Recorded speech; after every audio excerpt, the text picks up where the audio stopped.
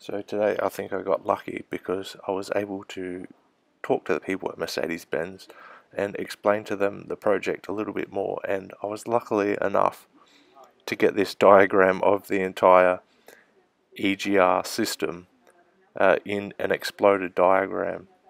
I know it doesn't include the intake manifold but uh, let's put it this way if you can take care of this part of the project and sort of understand what's going on. Uh, it's a really good start. And the reason I got this diagram also was um, if you watched a few of my other videos, uh, I couldn't find where some of the gaskets went. Uh, there were some left over from the project. Well, um, it, that's been located too. If you have a look on the parts diagram there, you can find out where they are.